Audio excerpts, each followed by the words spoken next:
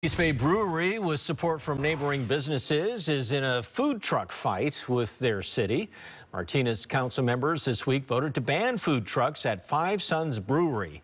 One concern, the food trucks hurt business at local restaurants.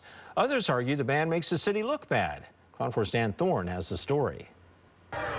It's a busy night of beers at Five Sons Brewery. The new location in downtown Martinez is just about a month old, but something's missing there's no more food trucks. Uh, we're not quite sure where the hatred for these trucks are coming from. Sean Macias is a Martinez native and co-owner of the brewery. He says having the food trucks helps bring in a unique flavor to Martinez, and it also helps attract more people to downtown. Um, the food truck plan is just to offer yet another uh, opportunity for people to come down here and try a new type of food. A lot of brick and mortar places started as a food truck. I know that there are businesses in downtown that started as a food truck. The ban is technically enforcing a city ordinance that's already in place, which prohibits food trucks in downtown Martinez. But with help from some neighboring businesses, Five Sons is petitioning the city to update existing regulations.